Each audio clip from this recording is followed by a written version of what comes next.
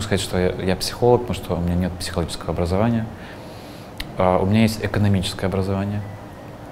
У меня есть э, бизнес-образование, я продолжаю учиться этому. И так получается, что, наверное, никогда не закончу, потому что так все быстро меняется, что то, что ты выучил э, в университете, это уже во многом устарело, а то, что сейчас появляется новое, э, вот только-только-только стараюсь схватить, понять, какие технологии, какие тренды. Потому что в результате э, есть компании, которые очень технологичны, которые зависят от инноваций, зависят от того, э, как использовать то, что происходит сейчас на рынке, для того, чтобы вырваться вперед и быть лидером. Э, лидерство — это такой забитый термин, его используют часто, это говорят и о политических лидерах, и э, говорят о том, что, наверное, это и руководители бизнеса. Э, вот. При этом человек, будучи политиком, он может не быть лидером, а руководитель тоже может не быть лидером. И у меня есть простое, моя дефиниция, мое определение, что это такое. Лидерство — это когда не все равно. Поэтому, когда э, человек встречается со мной, и он уже зрелый, действительно, там не нужно его учить, потому что у него уже есть богатый опыт и так далее. При этом посмотреть, какой опыт ему мешает, его же, а какой опыт у него, какого опыта не хватает, или, может быть, что нужно немножко переставить местами для того, чтобы это заработало. Э, если э, говорить о моих клиентах, часто это программисты IT-компаний. И бывает, э, они рассказывают, что программа может не работать, если написана всего лишь одна строка кода неверно, с ошибкой. Вот меняешь только одну строку кода, и, и там все срабатывает. Сейчас э, руководители сталкиваются с очень интересной... Я не могу сказать, что они не сталкивались и ранее, но просто вот прямо сегодня, можно так сказать, да, они сталкиваются с э, очень важным таким э, моментом, ситуацией характеристики, которые сейчас есть в наше время, они уже не успевают э, за теми изменениями, которые происходят. И если раньше они могли быть, вот я один большой босс, я контролирую, я управляю и так далее, сейчас один человек сам не успевает э, э, за изменениями во всех сферах. Маркетинг, производство, э, реклама, финансы, э, работа с людьми и так далее, так далее, так далее. Что это означает? Это означает, что компании важно, чтобы появлялось больше людей, которым не все равно, которые могли бы э, отреагировать э, и вежливо, и, может быть, э, иногда, может быть, не очень вежливо, смотря какой клиент, да, при общении с клиентами. Э, один человек, который раньше был локомотивом, сейчас часто превращается в бутылочное горлышко, узкое место, и в результате становится, ну, увы, тормозом. Да? И я помогаю им э, вырастить людей, которым, бы, которым можно было бы э, отдать больше полномочий, больше ответственности. В нашей стране, на нашей территории вообще, э, лидерство истреблялось. Все, э, все те люди, которым было не все равно, их расстреливали, сажали, э, лечили и так далее, и так далее. Поэтому сейчас э, основная проблема, э, которую я слышу от руководителей, от своих клиентов, они говорят следующее. Мы бы рады отдать, делегировать кому, да, и научить можем, но они не хотят, а нету запроса у людей. А научить нельзя, можно научиться. То есть люди должны сами захотеть э, что-то сделать, э, развиваться. Часть руководителей, они вообще не хотят, чтобы были лидеры, потому что они привыкли контролировать, а контролировать чаще, проще людей, которые не поднимают голову, которые, ну как, работают работу, да, то есть, по сути, рабы. А единственное, что потом они жалуются, что от них не добьешься никакой инициативы, да что там инициативы, ответственности даже не добьешься. Поэтому я думаю, что постепенно мы будем приходить к тому, что у нас будут абсолютно разные предприятия, при этом у нас будет появляться все больше предприятий и организаций, в которых будет определенное взаимодействие между сотрудниками. И лидер, он скорее будет занимать позицию где-то дирижера.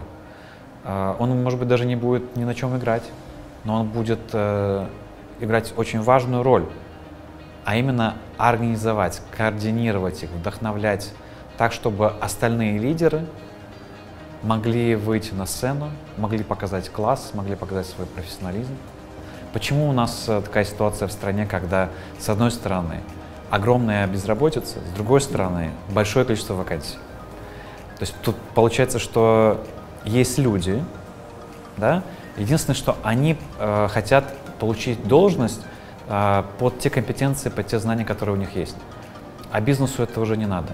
Уже э, он ушел, экономика меняется, он ушел вперед. И получается важно, э, чтобы были новые люди, э, люди с новым образованием. И, а эти люди пока не готовы переучиваться. Не всегда, но часто не готовы переучиваться, не готовы овладевать чем-то новым. Потому что, ну вот, была в университете, спасибо, хватит. Был в школе, хватит, спасибо. Вот. А тут получается, что школа длиной в жизнь. Я проводил семинар э, вчера, э, назывался «Ошибки руководителя». И мы с участниками, с руководителями пришли к одному интересному выводу. Каждый бизнесмен, он успешен по-своему, своя стратегия, своя какая-то модель развития. А ошибки делают все одинаково. Например, э, дисбаланс между тактикой и стратегией. Хочется заработать сейчас. Да? И это означает что? Нужно делать упор на продажи, продажи, продажи, продажи, продажи, продажи. И, в принципе, если вы знаете, э, ну, уже, может быть, э, стирается, но вспомните, такие торговые марки, как Nokia или Kodak, это были огромные компании, которые как раз ну, были чуть ли не монополистами на своих рынках. Они продавали, и потом что? И потом проспали э, инновации. То есть, получается, когда есть фокус только на тактику, но, но нет э, фокуса на стратегию, вы можете выиграть бой, выиграть бой, выиграть бой и проиграть войну.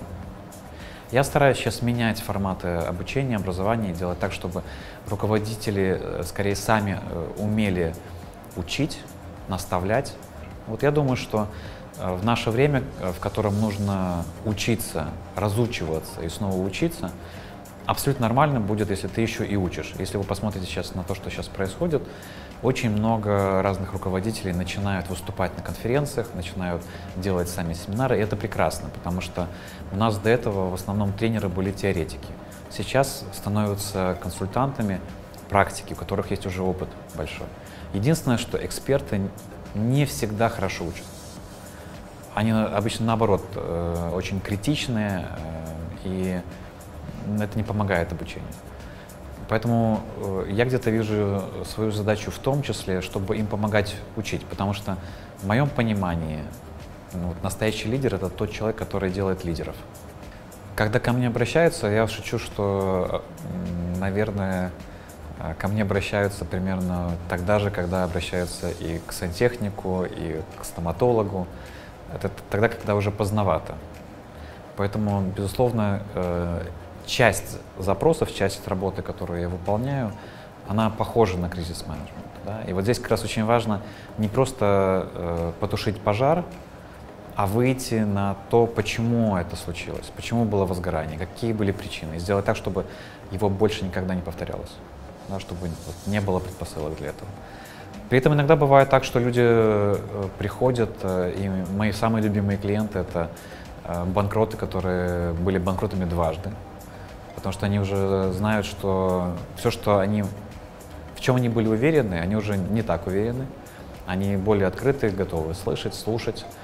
И в результате мы работаем скорее на перспективу. Мы э, работаем над, над тем, как удерживать баланс между тем, чтобы быть успешным сейчас и при этом быть успешным и завтра. Как э, соблюдать такое устойчивое развитие для организации, для своей личности, для своей семьи все больше и больше количество людей есть, которые понимают, что на государство, конечно, можно рассчитывать, и при этом здорово что-то самому сделать.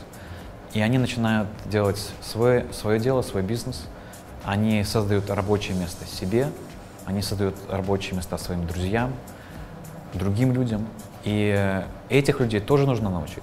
И этих людей тоже важно э, вести куда-то. Потому что сейчас, если вы открываете какое-то дело, и вы хотите а, чтобы там был небольшой какой-то бюджет, вы набираете студентов.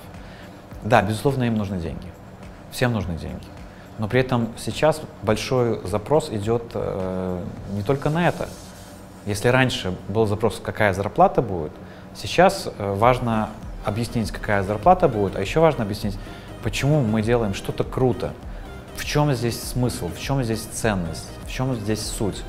А с этим иногда бывают э, проблемы, потому что э, люди не знают, ну вот, а в чем, в чем вообще вот, зачем я это делаю? Просто заработать деньги? Я считаю, что э, лидерство вот не как должность, а когда не все равно, это сродни э, ну, гражданскому обществу, потому что мне кажется, что каждый, э, ну, может быть, не каждый, но мне бы очень хотелось, чтобы большее количество людей, да, большему числу людей в нашей стране было не все равно.